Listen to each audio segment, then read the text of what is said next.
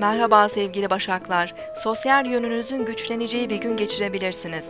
Arkadaşlarınızla birlikte olmak ve gün boyu sosyal faaliyetlerde bulunmak isteyebilirsiniz.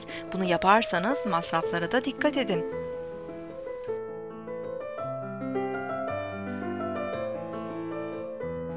Bugün 22 Ağustos 2014 Cuma, Venüs günündeyiz.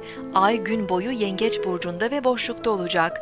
Ayın ışığı yeni ay öncesinde azalmaya devam ediyor. Yeni iş ve girişimler yerine eski kavramlarla ilgilenebilir, eksiklerimizi tamamlayabiliriz.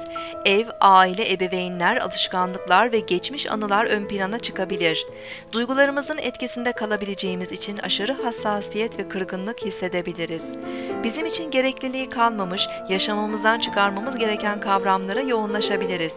Alışkanlık ve bağımlılıkları bırakmak, yeni enerjilere yol almak için önümüzdeki birkaç günü değerlendirmemiz mümkün. Ay gece 23.50'de Aslan Burcu'na geçiş yapacak.